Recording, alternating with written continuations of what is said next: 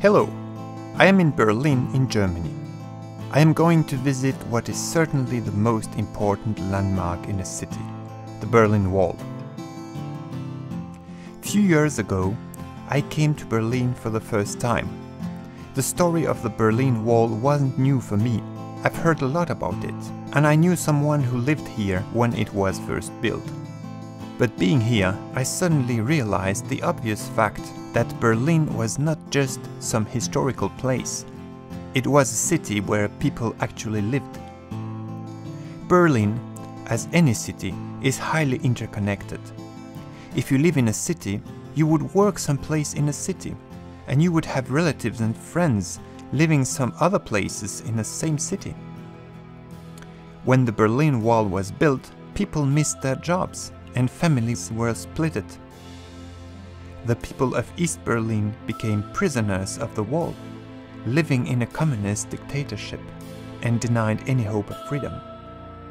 And in some ways, the people of West Berlin became prisoners too, surrounded by the wall and dependent on an unfriendly state for energy, water and resources. The wall divided the city for 28 years, an entire generation.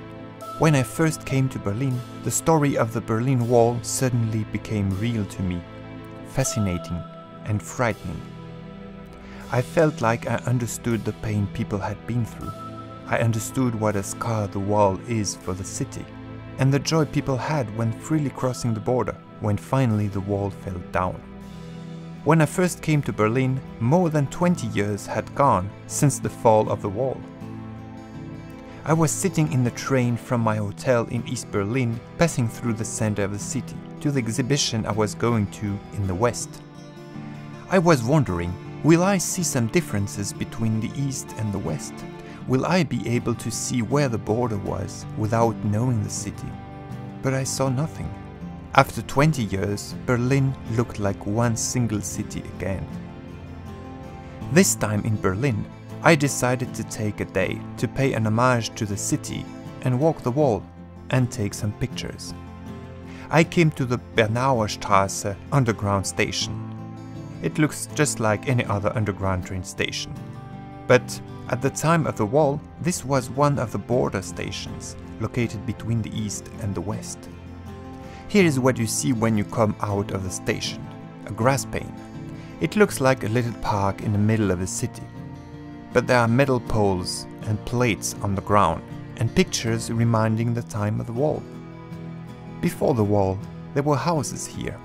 Today, the boundaries of those houses are marked by metal lines in a grass pane. After the war, the city was divided in sectors.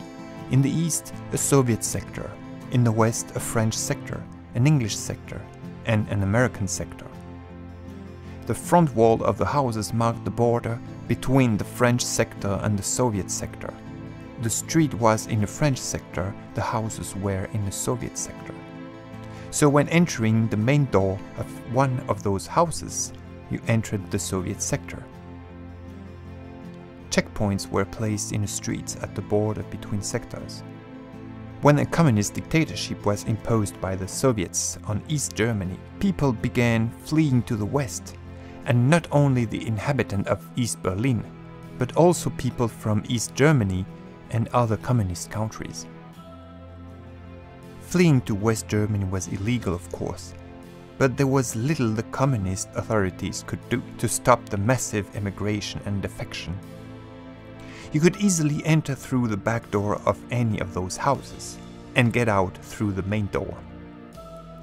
There were hundreds of houses like that at the border and the communist rulers of East Germany wouldn't have enough soldiers to guard every house on the border. In year 1961, in order to put a stop to the people fleeing out of East Germany, the communists built the Berlin Wall. The wall was built overnight, taking the inhabitants of the city by surprise. The wall was quite simple to begin with, the streets crossing the border were spared with barbed wire fences. And all the doors and the windows at ground level on the border were sealed by screwing them in place, forcing the inhabitant of those houses to use the back door and to stay in East Berlin. Later on, walls were built and doors and windows were bricked up, first at ground level and then on all levels, as people were still escaping from the upper levels using ropes. People living in the houses were forced out, despite the lack of housing in the city at that time. Finally, in order to make any escaping possible, the communists made an empty region along the border, the Death Strip. All the houses at the border were destroyed, and a concrete wall was built. On the other side of the Death Strip, another wall was built, the inner wall. Watchtowers and bunkers and anti-vehicle trenches and obstacles were built in the Death Strip. Soldiers were guarding the strip along a patrol road with guns and dogs. Beside of them, nobody was allowed in a Death Strip. Big light poles were lighting the site at night. A signal fence was built to alert the guards of any intrusion, and anybody trying to get out would be shot by the soldiers. No chances of escape. After the fall of the wall in 1989, most of it was destroyed, and the former border was marked by a pavement line. New buildings filled the former death strip, like this one. But here, the place of the death strip and some rests of the wall have been preserved as a memorial. A row of metal poles marks where the wall was. In the grass, you can see round metal plates. Those are incident markers. They show where somebody tried to escape and was killed or arrested, or where people managed to escape alive, most of them in the first year of the wall. These plates mark the place of a tunnel. Many tunnels were dug under the wall, many of them by people that had escaped East Berlin when it was still possible to help their friends and relatives in the East. Some people actually managed to escape this way before the tunnels were discovered by the communists. At this place there was a watchtower. And here there was a church. Despite the church standing in the way of the death strip, the communists first spared it. But in year 1985, the church was demolished. Some foundations of the church can be seen, and the bells and the cross of the tower bent by the fall. This chapel replaces the church today. Inside of it, you can see the cross that was once behind the altar in the old church. This is the Berlin Wall Memorial. It is a new building across the street. Inside is a little museum. You can read about the life of some of the victims of the communism and some of those who tried to escape. This is a metal spike grating. The steel spikes were designed to severely injure fugitives when they jumped down onto them, so they wouldn't be able to run after passing the inner wall and the signal fence.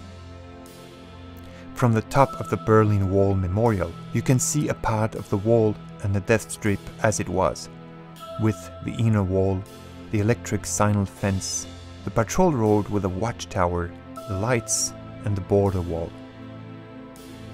Further away, a memorial wall for the people who died while trying to escape. The names of some people are known, many other aren't. A group of students standing in silence. I came to the end of the memorial site. Here is another underground train station, Nordbahnhof. This station too was a border station it had an exit in East Berlin and another in West Berlin.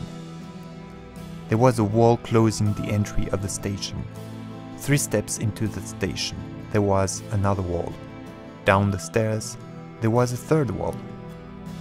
The walls had signal fences that would alert the guards if anybody would try to touch them. Three subway lines were crossing the borderline under the wall starting in West Berlin, passing under the east for a few stations, they would come out to West Berlin again. When the wall was built, those stations were isolated by walls, and trains wouldn't stop at them. They became ghost stations.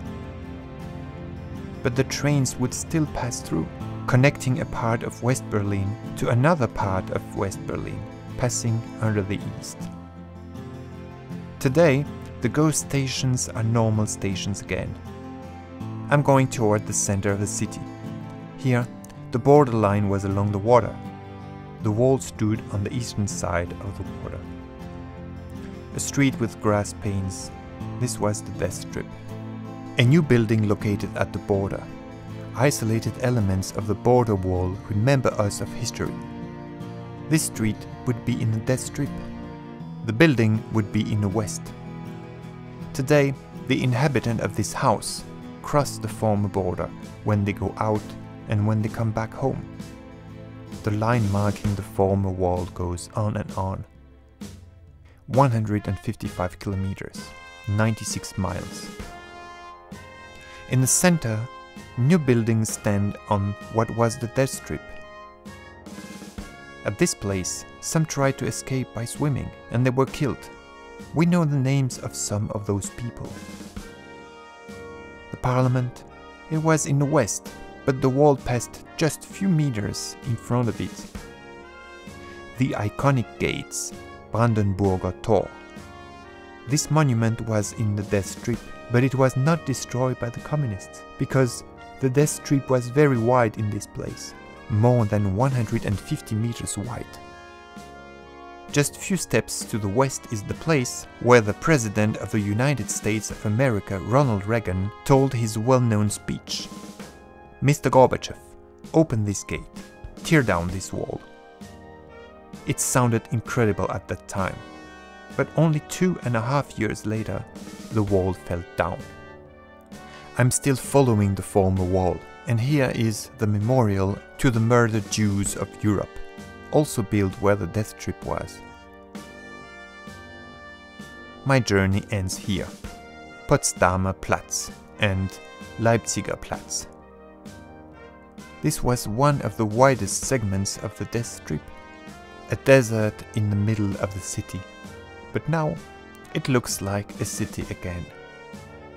Only a small memorial here remembers us about the wall, and those elements of the wall are covered with chewing on both sides. I finished my walk through the city along the Berlin Wall. I am still impressed of what crimes people were capable of just in order to impose on others the belief in an unworldly utopian ideology. And I'm full of respect for all the people that lived this tragedy during 28 years.